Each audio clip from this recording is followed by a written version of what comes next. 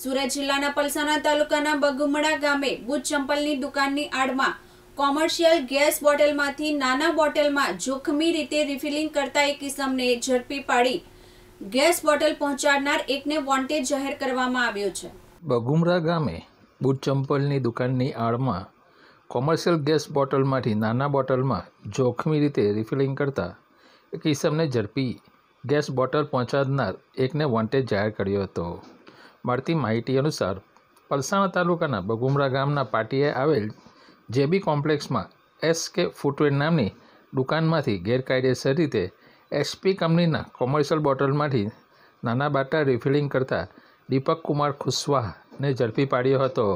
પોલીસે રિફિલિંગનો તમામ સાધન સામગ્રી, વજન કાંટો, નોઝલવાળી રિફિલિંગ પાઇપ તેમજ પાંચ કિલોનો બોટલ વગેરે સામગ્રી મળી દસ હજારનો મુદ્દામાલ કબજે કરી બોટલ પહોંચાડનાર સંજીત કુમાર રાજપૂત નાઓને વોન્ટેજ જાહેર કરી પોલીસે આગળની કાર્યવાહી હાથ ધરી છે.